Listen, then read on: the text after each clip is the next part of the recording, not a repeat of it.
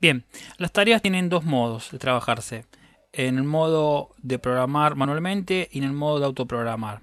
Eh, conviene siempre que estén en autoprogramar para que los cálculos los realice automáticamente el project.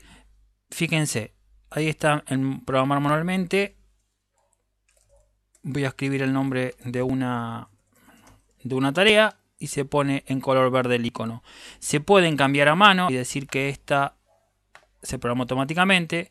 También se puede haber hecho desde la opción tareas tareas o directamente donde dice modo poner autoprogramar y que cada vez que se escribe una tarea nueva se quede en forma autoprogramada.